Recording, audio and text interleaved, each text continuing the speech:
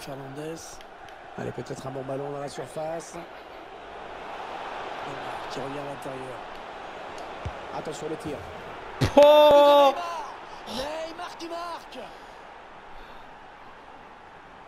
C'était magnifique ça. Oh, il veut stop, il veut stop Wesh.